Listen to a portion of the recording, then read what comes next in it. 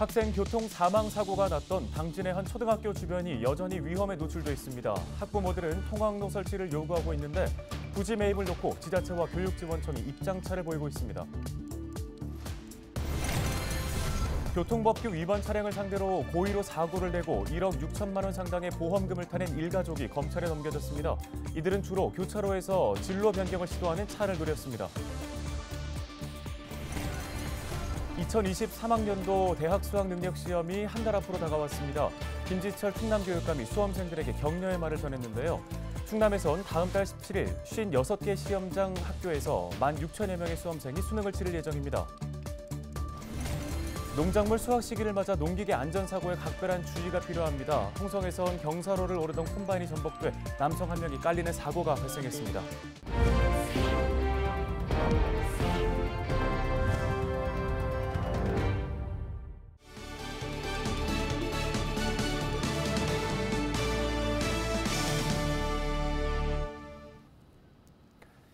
여러분 안녕하십니까? 헬로티비 뉴스 시작합니다. 지난해 당진 탑동초등학교 인근에서 학생이 화물차에 치여 목숨을 잃었습니다. 사고 이후 여러 안전시설이 설치됐지만 학생들은 여전히 위험에 노출돼 있는데요. 학부모들은 통학로 설치를 요구하고 있는 가운데 부지 매입을 놓고 지자체와 교육지원청의 대립이 이어지고 있습니다. 정호석 기자의 보도입니다.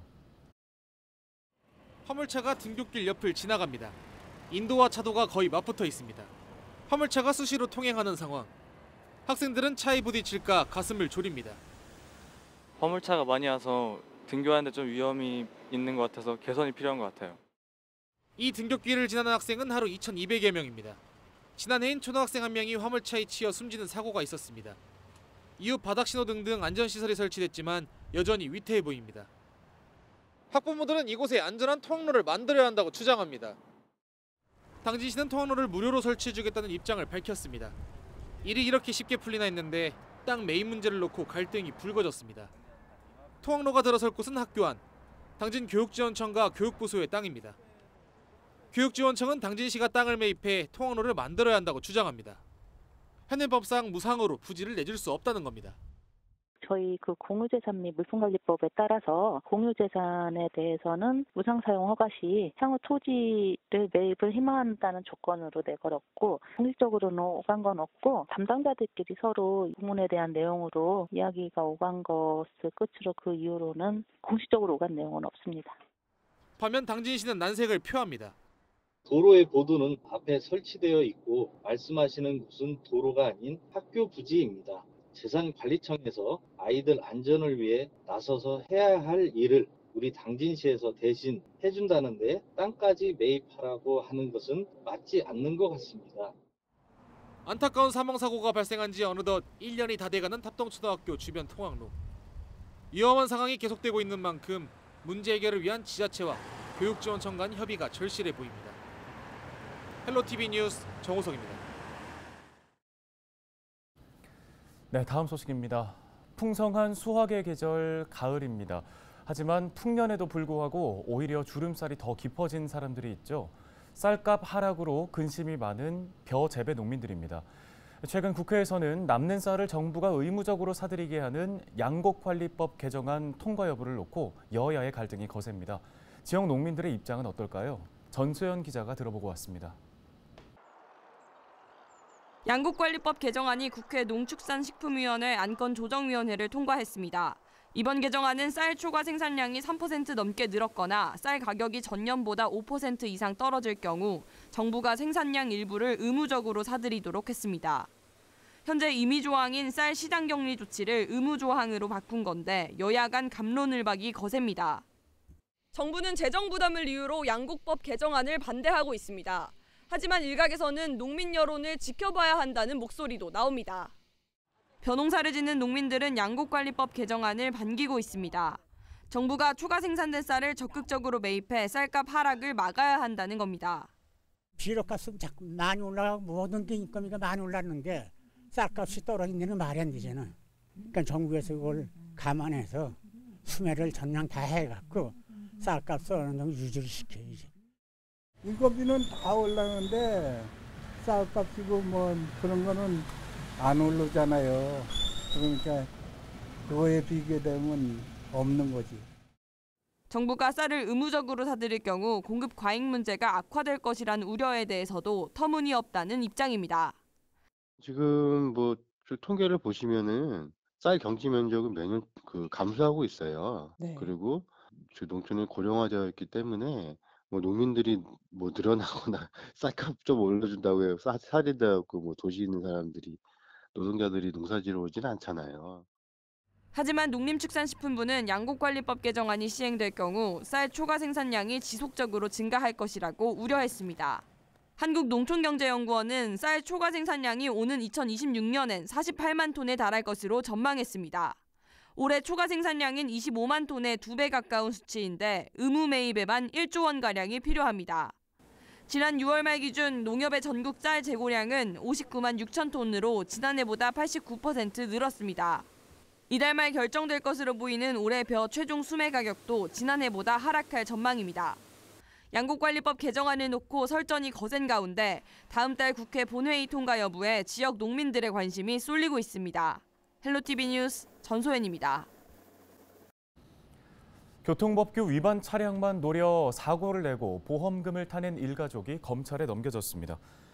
충남경찰청은 2019년 12월부터 올해 1월까지 충남 일대에서 15차례에 걸쳐 사고를 내고 보험금 1억 6천만 원 상당을 편취한 혐의로 A씨 등 3명을 검찰에 불구속 송치했습니다.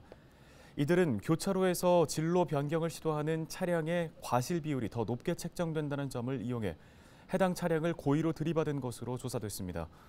A씨는 아내와 아버지까지 범행에 가담하게 해 이들을 차에 동승시켜 사고를 낸 뒤 보험사에서 받은 합의금을 나눴습니다. 2023학년도 대학 수학 능력 시험이 한 달 앞으로 다가온 가운데 김지철 충남교육감이 수험생에게 격려의 말을 전했습니다. 김 교육감은 17일 격려문을 통해 가치를 창조하고 그 가치를 공유하는 사람이 되면 더 행복한 삶이 될 수 있다며 남은 기간 건강 관리에 유념하고 모든 수험생이 선전하길 기원한다고 밝혔습니다. 이어 충남교육청에서도 최적의 환경에서 편안한 마음으로 시험을 치를 수 있도록 최선의 준비를 다하고 있다고도 덧붙였습니다. 충남에서는 다음 달 17일 56개 시험장 학교에서 1만 6천여 명이 수능을 치를 예정입니다. 지난 16일 홍성읍 학계리의 한 논에서 콤바인이 전복돼 남성 한 명이 깔리는 사고가 발생했습니다. 신고를 받고 출동한 119 소방대원은 유입 장비 등을 사용해 남성을 구조했고 응급처치 후 병원으로 이송했습니다. 이 남성은 논에서 콤바인을 몰고 경사로를 오르다 사고를 당한 것으로 전해졌습니다. 홍성소방서는 농작물 수확 시기 농기계 안전사고가 늘고 있다며 사용 전후 장비를 점검하고 안전수칙을 지켜달라고 당부했습니다.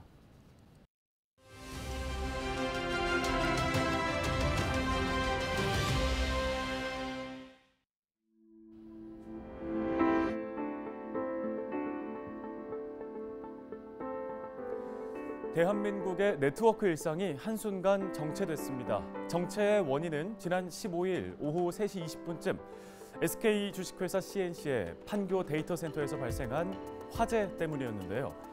화재 발생 10분 후부터 메신저 애플리케이션 카카오톡과 포털 사이트에서 오류가 발생하기 시작했습니다.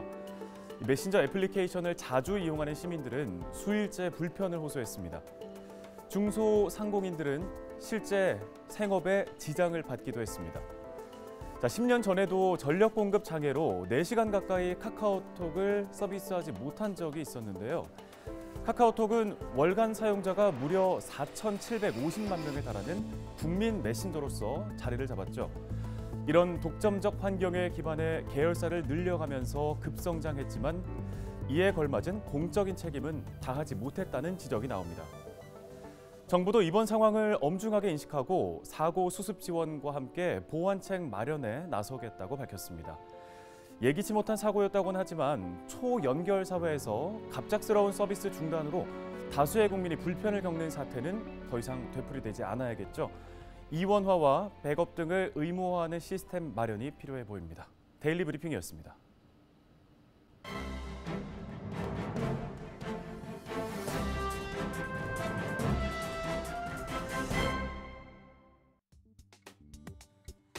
신문 브리핑입니다. 민선 8기 첫 대형 사업으로 옛 충남방적 예산 공장이 주목받고 있습니다. 2001년 폐쇄한 뒤 석면 슬레이트 지붕 등 신례원 지역 노른자 위에 흉물로 남아 주민 안전과 도시 미관을 해치는 건물과 부지를 매입해 마을 공동시설과 청년 보금자리 등으로 정비하는 방안을 추진하고 있는 건데요.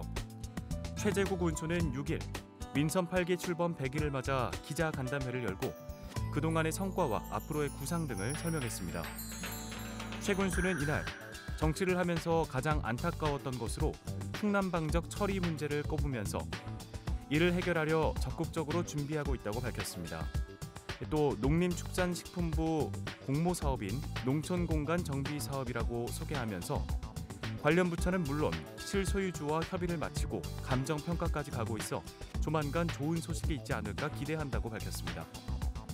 군에 따르면 이 사업은 2023년에서 2027년 316억 원을 들여 예산읍 창소리 77-3번지 예산공장 22필지를 매입해 성면 슬레이트 지붕 등 건물 철거를 비롯한 부지 정비와 마을 공동시설 조성, 경관 개선 등의 내용이 담겨 있습니다. 전체 면적 16만 1,400여 제곱미터 가운데 녹지와 자동차 시트 공장 등을 제외한 9만 8,300여 제곱미터가 대상이며 향후 농촌 돌봄 단지, 청년 보금자리 등을 연계 사업으로 추진할 계획입니다. 군은 11월 11일 농촌공간 정비 사업 공모 계획서를 제출할 계획으로 이르면 연말 안에 결과가 나올 것으로 전망됩니다. 신문 브리핑이었습니다.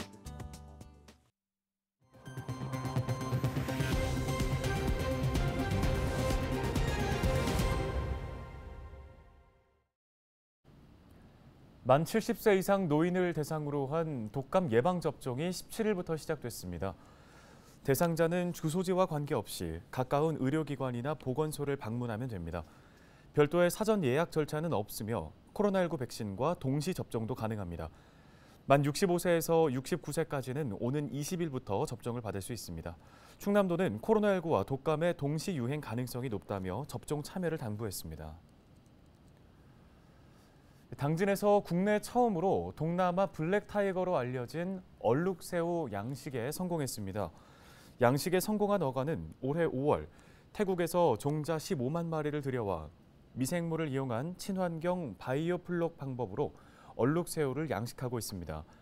현재 킬로그램당 40마리 안팎 크기까지 성장했고 다음 달부터 출하를 하게 되며 일부는 계속 키워 자체 종자 생산에도 도전한다는 계획입니다. 이번 양식 성공은 흰다리 새우가 대부분을 차지하는 국내 새우 양식 산업에 새로운 활력을 불어넣을 것으로 기대됩니다.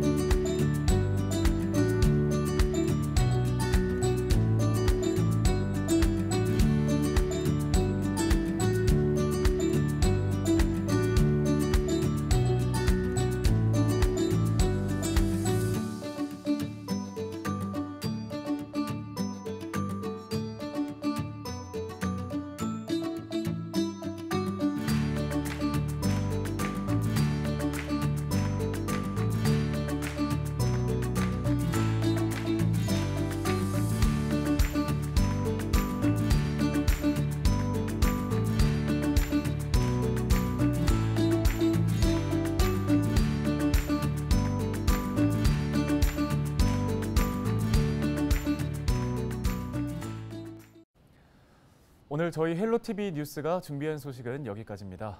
함께해 주신 여러분 고맙습니다.